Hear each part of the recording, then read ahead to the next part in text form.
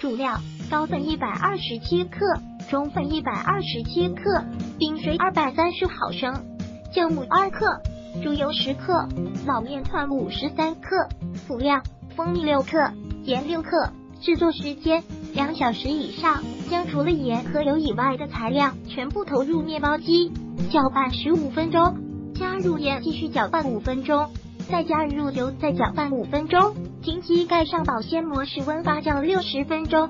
面团基础发酵完毕，取出面团，烧排气，平均分割三份，加盖保鲜膜，中间松弛三十分钟。操作台上撒粉，取一份面团排气后，改成长条形，从外向内卷起。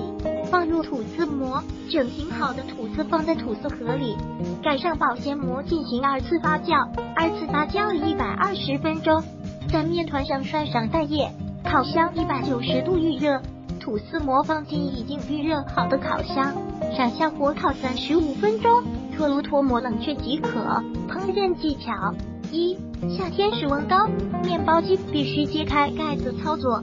二用冰水和面团取代笼低面团温度的作用。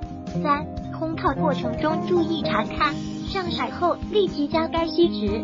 如果喜欢本视频，请分享并订阅本频道。